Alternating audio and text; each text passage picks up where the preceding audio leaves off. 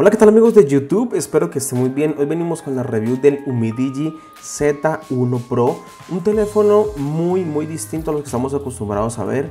En este caso encontramos una bestia con 6 GB de memoria RAM, pantalla AMOLED y un color rojito así de bonito. Así que comenzamos.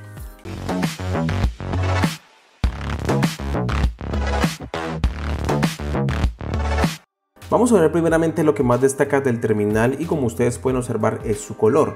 En este caso encontramos un dispositivo con un cuerpo metal unibody encontramos un color rojo muy bonito que por ejemplo cuando lo ponemos de otra forma como incide la luz boca, boca abajo de lado se ve bastante bien me gusta mucho es muy llamativo este, este color además que su diseño se parece mucho al iPhone 7 pues yo creo que es el, el Humidigi Red no como el iPhone 7 eh, Red. Se puede encontrar en color gris y color rojo. Vamos a encontrar un peso de 148 gramos es un teléfono muy ligero. Y además un dato y ojo muy importante es el teléfono más delgado actualmente que incorpora una batería de 4000 mAh. Encontramos 7 milímetros de grosor para una batería bastante grande en este dispositivo. Vamos a encontrar en la parte de arriba lo que tenemos en la entrada de los auriculares, parte derecha los botones de volumen y botones de power que suenan un poco, no están muy bien fijados, pues ya es algo que le quita un poco ese tono premium. En la parte izquierda tenemos la entrada de la SIM y la entrada también de la, de la memoria externa en la parte de abajo tenemos el cargador, entrada también de sonido, altavoz y micrófono. Y en la parte trasera tenemos la doble cámara que sobresale un poquito con unas rayas bastante curiosas. Encontramos el flash, se ve muy muy bonito. Y el logo de Umidigi. Seguidamente en el frontal vamos a encontrar lo que sería la videocámara, los sensores y luego nos encontramos con la tremenda pantalla eh, de 5,5 pulgadas resolución 1920 x 1080 píxeles, una densidad de píxeles de 401 ppi y el tipo de esta pantalla es una pantalla AMOLED. Ya es otro punto, otro avance que encontramos a, las distintas marcas y de este mismo marca en otras referencias en otros modelos. Encontramos Corning Gorilla Glass 4, resistencia a rayones y también el cristal redondeado 2,5D que redondea ligeramente la curva de la pantalla. Ahora bien, vamos a la pantalla y nos posicionamos en una AMOLED de Samsung, en una AMOLED de OnePlus y las comparamos y realmente le falta como un poquito más en esa intensidad de colores, en ese modo como estilo HDR que se vea un poco mejor lo que serían los colores, la saturación de la característica que da AMOLED a sus pantallas. En este caso encontramos una representación, de colores bastante buena, encontramos también unos ángulos de emisiones bastante elegantes y además es bastante nítida, pero sí en algunos videos, en ciertos videos, por ejemplo donde hay mucho verde, donde hay mucha vegetación, donde los colores suelen eh, salir más fuerte, se ve como que falta un poquito más esa intensidad, o sea queda un poco frío. Además tenemos pues, los ajustes en pantalla para poder configurarlos en modo intenso, configurar eh, lo que sería el contraste, algo que está bastante bien y que es un punto favor. Seguidamente abajo tenemos al lado izquierdo el botón de atrás y al lado derecho eh, lo que sería el botón de menú que también se pueden poner los virtuales allí. Y en la mitad tenemos un botón que es capacitivo, no se hunde para nada. Y es el sensor de huellas que lastimosamente va súper lento, o sea no falla prácticamente, pero va bastante lento, en ocasiones demora bastante, algunos segundos incluso en desbloquear. Y para que vaya rápido pues simplemente desbloqueamos eh, o encendemos la pantalla del teléfono con el botón de encendido y ponemos el dedo y ahí sí va rápido. Seguidamente vemos abajo lo que es el altavoz. Algo peculiar de este teléfono es que se incluye un chip Aminic AV8738 es un chip no sé qué de sonido que realmente tiene un volumen súper fuerte. Me quedé impresionado al ver que al jugar, por ejemplo, al ver videos, es súper, súper fuerte y además vibra el teléfono por dentro. Se ve que es envolvente. Sería súper chulo tener dos altavoces estéreo, pero tiene uno que cuando lo tienes en la mano te vibra el teléfono y se escucha bastante bien, con una buena presencia de bajos y también algo más que sobresale son los brillos, pero el volumen es muy, muy bueno.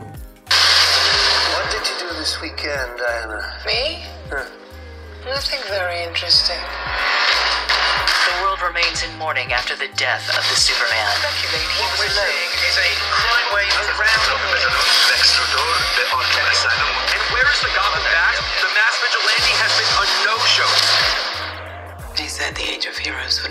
En cuanto al apartado fotográfico, normalmente los teléfonos chinos suelen un poco decaer, ¿no? Encontramos, eh, bueno, su doble cámara atrás, encontramos un sensor Samsung de 13,4 megapíxeles tipo ISOCELL con una apertura focal 2.4 y la segunda cámara trasera de 5 elementos, lo que sería de 5 eh, megapíxeles con apertura 2.8 para el efecto bokeh.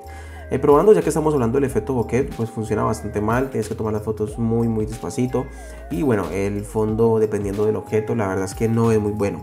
La calidad me gustó mucho la cámara, lo que es la, la definición, la calidad que da en ocasiones donde hay buena luz, como pueden estar ustedes viendo fuera en la calle, la representación de los verdes, de los colores, sí le falta un poquito esa tonalidad, son un poquito frío, le falta un poquito más esa vivencia, que se vea que los colores son más vivos, de que estamos tomando realmente una foto y bueno, la aplicación de cámara tampoco ayuda mucho, que es un poco lenta. Pero aún así es buena, eh, tiene, un, tiene buen, buena amplitud, tiene un gran angular bastante elegante y además pues se ve bastante bien y es bastante nítido. La cámara delantera me gustó muchísimo porque es muy nítida, tiene una buena amplitud y la verdad es que se ve muy bien, puedes acercar la foto perfectamente y la verdad es que se logra un resultado bastante adecuado.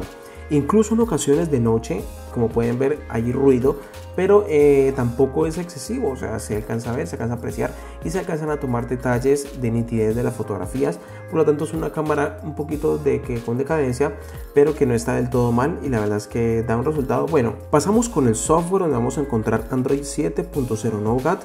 Es una capa, pues como ustedes saben, de UMI, capa muy parecida a Android Stock, donde bajamos la barra de notificaciones con ese toque negro. Ahí tenemos los toggles que se pueden editar y pues en los ajustes vamos a encontrar los ajustes de siempre. Y aparte pues tenemos el modo de lectura para la noche, modo para configurar los botones. También podemos cambiar la luz de lo que serían las llamadas perdidas, la batería baja, lo que sería el LED y listo, tampoco es que tengamos muchas, muchas funciones. El de demás viene la verdad bastante vacío. Funciona muy bien. Hasta ahora no he encontrado prácticamente ningún bug. Tenemos la parte de actualizar el sistema donde encontré una actualización. O sea, están actualizando periódicamente.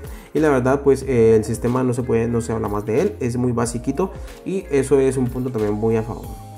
Ahora hablamos del rendimiento donde se crea un poquito de controversia ya que es un teléfono que cuesta más de 200 dólares que por este precio encontramos teléfonos muy buenos incluso con menos especificaciones que en este caso tenemos 6 GB de memoria RAM es la característica que más destaca. Encontramos un procesador MediaTek Helio P20 que corre a 2.3 GHz son 8 núcleos. Encontramos una Mali T880 MP2 a 900 MHz y 64 GB de memoria interna que quedan libres unos 57 para el usuario.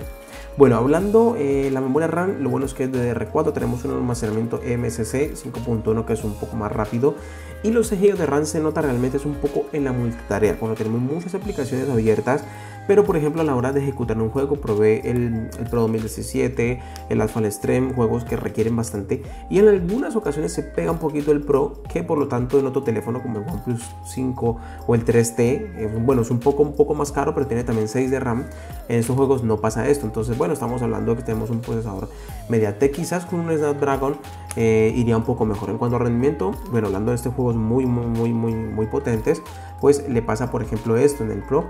Le resuelve muy bien en todas las aplicaciones, la, gestión de multitarea, la navegación, eh, lo que es la visualización de videos en YouTube. La verdad es que se comporta muy bien este procesador y se comporta también muy bien ese teléfono. No hay queja alguna en cuanto al apartado también de la conectividad, el apartado del GPS también se probó, también funciona sin problema, el apartado del Wi-Fi, el alcance del Wi-Fi incorpora 4G LTE, banda 800 MHz y podemos insertar una nano SIM más otra o también una micro SD, Bluetooth 4.1, GPS, GPS GLONASS. Ahora sí pasamos a hablar de la batería donde encontramos carga rápida y tenemos 4000 mAh, un teléfono muy bonito con una buena batería que a mí en lo particular me gusta bastante. Con esta batería se le puede sacar un rendimiento bastante óptimo, un rendimiento incluso de 6-7 horas dependiendo del uso que le demos. Pero estoy muy seguro que a la noche te va a llegar perfectamente si eres muy exigente. Yo estos días he estado probando como teléfono personal de acá de la casa y la verdad es que ha ido sin problemas, llegando al día, día y medio, usándolo bastante, ¿no? Como siempre dependiendo, pero bueno, tenemos carga rápida y 4000 mAh en este caso que se agradece mucho para un teléfono delgado como este. Y bueno amigos, acá en la descripción del video te dejaremos el link de compra por si quieres echarle un vistazo, quieres comprarlo a la página de Cool. Agradecerles a ellos también por enviarnos este dispositivo. Tiene un precio de 250 y algo de euros, 270 dólares más o menos, que es lo que está soliendo costar en la mayoría de las tiendas. Y bueno, la verdad es que sería muy bueno que mejoraran un poco la cámara en algunas futuras eh, actualizaciones, pero si quieres un teléfono distinto, un teléfono chino, me gustó mucho porque el procesador, la verdad, y los 6 GB de RAM se mueven muy bien, el GPS y además el color es muy bonito, tenemos una pantalla bastante decente. Y bueno, yo creo que lo más decadente aquí sería un poco la cámara y el sensor de huellas, que es bastante pésimo, pero tenemos un sonido muy interesante. Esperamos que te haya gustado esta review. Ya sabes, cualquier duda dejándola en los comentarios. Y bueno, nos vemos en otro video. Si te gustó, no olvides dejarnos tu me gusta y no olvides también suscribirte a nuestro canal. Nos vemos en otro video y chao.